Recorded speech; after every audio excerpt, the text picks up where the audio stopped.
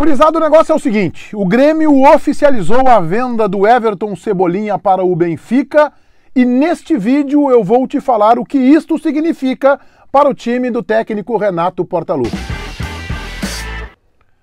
Vamos lá então, vamos falar da venda de Everton Cebolinha, vai jogar no time do Jorge Jesus, o Benfica de Lisboa em Portugal. A venda foi crescendo nos últimos dias. Aliás, era um processo natural esse, né?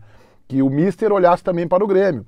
Há uma dificuldade dele contratar jogadores do Flamengo, pela relação que poderia se tornar ainda mais acirrada, e de pressão dos torcedores rubro-negros na direção é, do time, já que o Flamengo perdeu o seu treinador, seu grande líder e comandante para o Benfica, perderia também algum jogador e isso poderia criar um ambiente é, hostil para a direção flamenguista. Bem, ele poderia olhar para o Palmeiras, principalmente o Dudu, ele queria um atacante de lado, Dudu foi para o futebol uh, árabe. E aí tem o Grêmio, gente.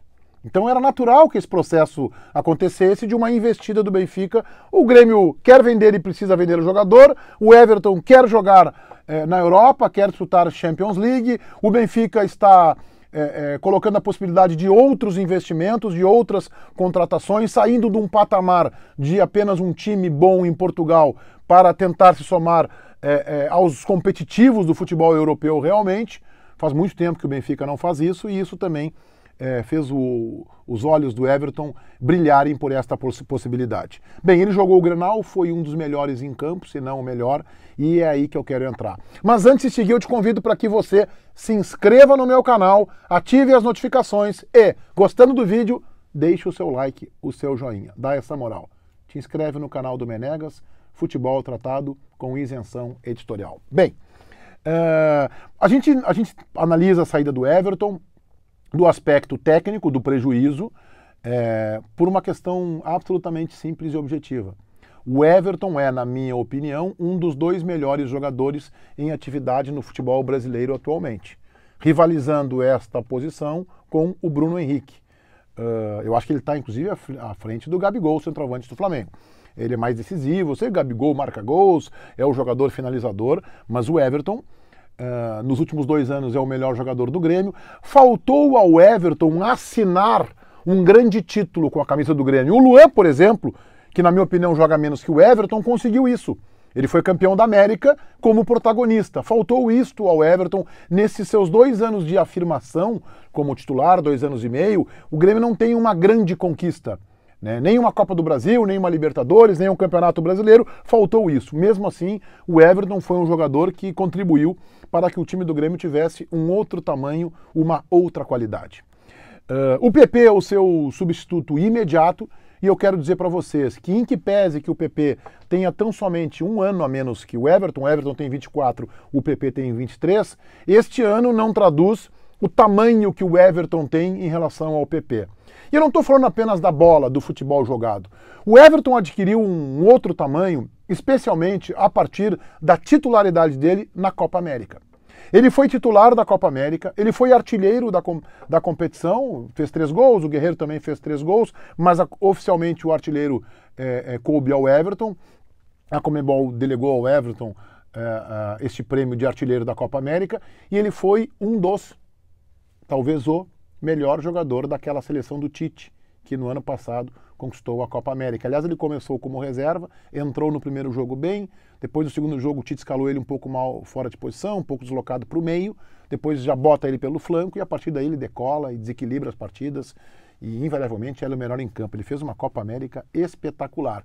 E isso, é claro, que, que despertou é, o olhar em cima do seu futebol é, no continente europeu. O presidente Bolzan fez uma frase em meio à pandemia muito verdadeira e que eu concordo. Tivéssemos a Copa América esse ano, como aconteceria, talvez a venda do Everton tivesse um outro tamanho. O que o presidente disse à época, quando a Copa América foi cancelada, é que isso aí prejudicaria a possibilidade da saída do Everton. Não preju... Quer dizer, prejudicou talvez o tamanho e talvez tenha até atrasado um pouco a sua saída, o que acabou sendo melhor para o Renato. Bem, mas o Everton, além de ser o melhor jogador do time do Grêmio, ele é o que mais incomoda os seus adversários.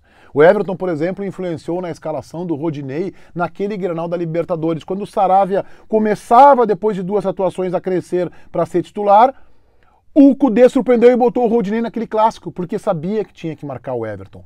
No Granal do Beira-Rio que o Grêmio venceu, o gol sai dos pés do Everton. Neste Grenal agora, que o Grêmio sobrou em campo, fez 2 a 0 o primeiro gol gremista sai dos pés do Everton. E ele fez um partidaço.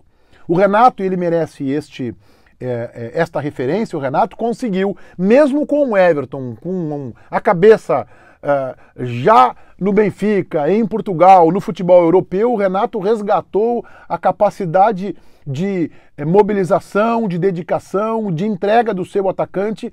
E o Everton foi protagonista neste Grenal, em que o Grêmio sobrou em campo e poderia ter construído ali uma vitória, inclusive, por 3, 4 gols de diferença, o que seria o resultado mais adequado e mais justo. Bem, então há um prejuízo, porque o Everton tem uma confiança que o PP ainda não tem.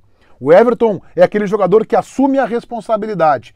Ele parte para a vitória pessoal, o que o PP também consegue, mas com uma confiança de ser jogador de seleção brasileira de ser jogador cogitado por grandes clubes, como ele foi recentemente do futebol europeu, como o Napoli se falou, como uh, uh, o Everton do futebol inglês uh, e outros clubes que o assediaram. O Borussia Dortmund também foi especulado. Então ele estava na alça de mira, né, estava na alça de mira de grandes clubes do futebol europeu. E isso dá ao jogador um outro tamanho, uma outra projeção, para pegar a bola e assumir a responsabilidade de partir para cima do seu marcador. Mesmo o Everton na temporada 2020, um pouco abaixo do que ele pode render, até o Renato chegou a falar uma ou duas semanas atrás que eles não estão nos melhores dias, mesmo assim, ele invariavelmente neste ano era o melhor jogador da equipe. Por quê? Porque a régua do Everton é muito alta. Então, este prejuízo técnico que a sua saída é, tem como consequência, ele é inquestionável. Né? Não que o Everton seja insubstituível, o PP poderá crescer, mas acho que vai levar um tempo ainda. E o PP vai ter esta oportunidade como titular do Grêmio já com 23 anos. O Everton teve um pouco antes.